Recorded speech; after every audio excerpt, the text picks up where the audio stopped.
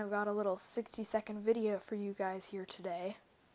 So today we're going to be taking a look at Mac Comfort for Windows, which will allow you to have all the features of a Mac on the Windows side.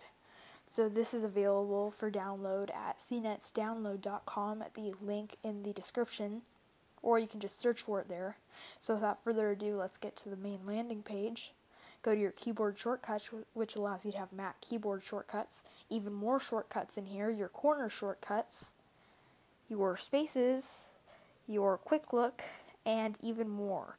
Now these two add-ons, I don't know what they are. I'm not sure. I haven't tried them. You can make a video response about those if you want. Spaces, let's take a look here. Open Safari. Now I switched to Space 2, and as you can see, I switched desktops. So now let's do a little quick look, which I can't do because whenever I hit the spacebar, it starts typing in the search field.